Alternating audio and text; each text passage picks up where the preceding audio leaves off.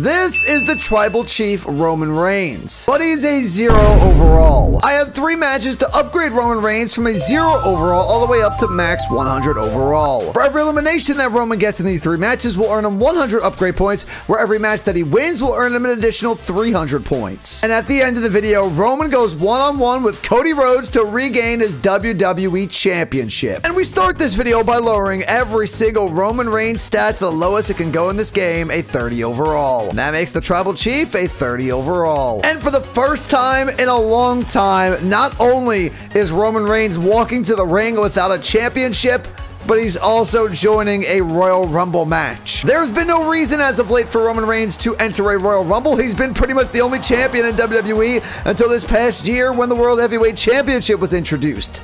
He wasn't the WWE champion for a little bit. He was the Universal Champion for four years straight, but regardless, no reason to join a Rumble.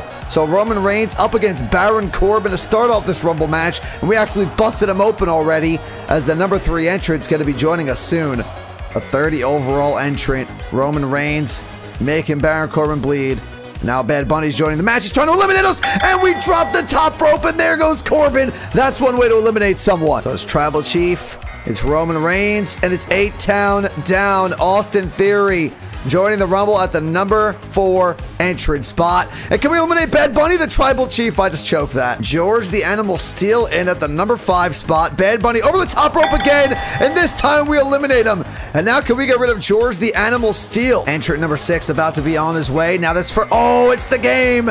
Triple H, Roman Reigns, and the game have had their rivalry in the past, so that is not going to be easy. The highest overall superstar we faced so far, too. But Roman Reigns, this match is on normal difficulty, so it's our only chance on a lower difficulty. And I did get to see Roman Reigns enter at WrestleMania Live both nights. I got the WrestleMania 40 shirt right here. We got to represent for the Tribal Chief in this video, and Big E's in at the number seven spot. Tossing Theory over. Oh, we got rid of him just like that. Austin Theory eliminated. Didn't even have to try to like hit him over the top rope. We just threw him over and he was gone. And now for Big E! Back-to-back eliminations for the Tribal Chief. We do it again to George the Animal Steele. Big boot by Roman. See you later. And the Tribal Chief is taking over here in the Rumble match. As Triple H trying to make us tap out, which isn't going to do anything here in a Rumble. So that's pretty pointless. And now Johnny Gargano in at eight. Only two men left to enter here. Who is number nine in this Rumble match?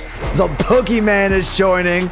So I'm not too mad about that. Not one of the higher overalls in the game. Gargano, though, trying to Superman punch him. Watch out from behind, Roman. Good counter. And now, Superman punch. That'll get us a finisher here in this Royal Rumble match. But Gargano's got to be stunned. Maybe we could talk. No way. No, no, no, no, no, no. No, good counter, Roman. We almost got eliminated on that counter by Gargano. And the last man to join the Royal Rumble will be at number 10, Booker T. There goes Gargano. We eliminated him that time. And now, Booker T, Boogeyman, and the game are all that stands between us and winning this Rumble match. And we use our one finisher in this match to spear a fresh Booker T that just joined the matchup. And can we toss him over? Roman trying to eliminate Booker T. No stamina though. Oh, we eliminate him anyway with the right hand. We can clean sweep this Rumble. Boogeyman might try to eliminate Triple H. I am fine with that. We want those 300 upgrade points. Eliminated Boogeyman. The game eliminated, and it's one-on-one Roman Reigns versus the Boogeyman. We cannot lose this, Roman. We cannot lose this, Roman. Roman, no, no way. We are not losing to the Boogeyman. We are not losing to the Boogeyman. Thank you for the counter. Get rid of him. Get rid of him, Roman. Roman, Big boot! Eliminated! Roman Reigns, the Tribal Chief, wins the Rumble from the number one spot with eight eliminations. And Roman Reigns is about to get some serious upgrades. The Tribal Chief saw massive upgrades after that Rumble with 1,100 points to spend. 1,080 points went to upgrading every single stat to 75, and the extra 20 points went towards special and finisher to 85. And after just one insane Rumble match, Roman Reigns is up to a 90 overall. But now the difficulty is up to hard. And for this gauntlet match, I've filled it with three of Roman Reigns' biggest rivals. The Tribal Chief, Roman Reigns, is on a mission here in the gauntlet match. But this gauntlet match starts off with maybe our toughest opponent first.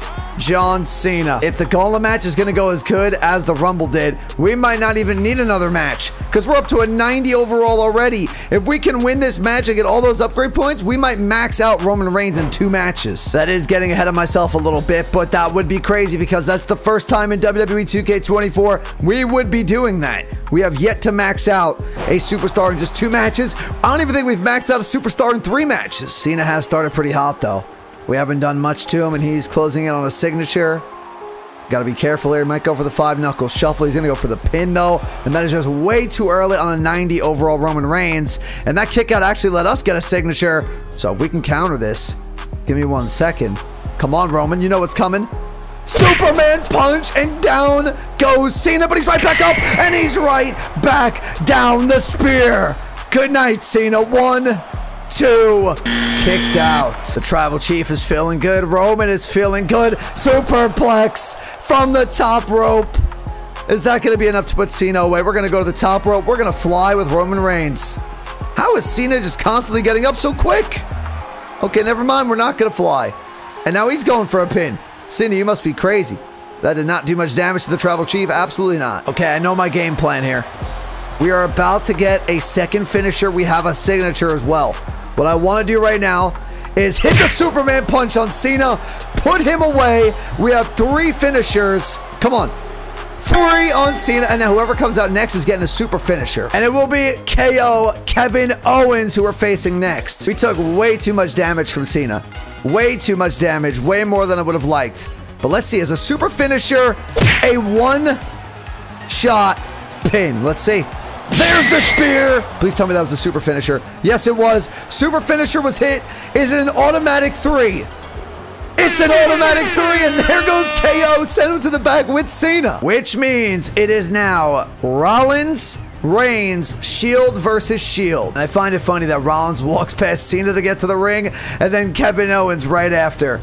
This is what a lot of people want to see one on one, myself included. Maybe at SummerSlam or at a WrestleMania, but you're going to see it first in the Wrestling Gauntlet. I don't think I can even take one stomp from Rollins. Maybe one if we get lucky, but I don't know if I could take two. So we want to get that super finisher. Going to make sure I get one finisher first before using my signature. That way, we get two right off the bat. Then it's just working towards that third one.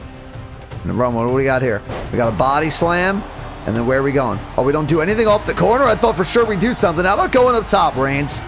How about going up top and dropping the elbow on Rollins? And if you're enjoying the video, do me a favor by hitting the like button and subscribing to the channel. I have one finisher.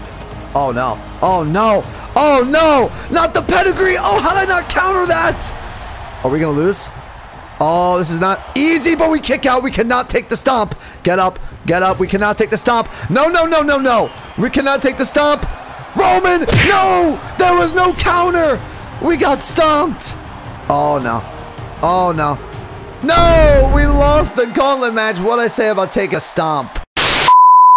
So I did have 200 points to spend on Reigns, so I just started off by maxing out as many stats as I can. And Reigns is up to a 98 overall. And Roman will be facing his own members of his family in the bloodline. And that even includes the final boss, The Rock. So we start with Solo, and yes, this is an elimination handicap match. So my game plan is going to be, as always in these one-on-three handicap matches, get the first guy at least counted out. That way we just have to focus on two opponents instead of three. So at the moment, we're just trying to hit any move we possibly can. Let's keep Solo down to about the count of six. And then I'm picking him up for a move. We're doing the same exact move we just did. If we can plant him with this, I don't think he'll make it back in the ring. He's down.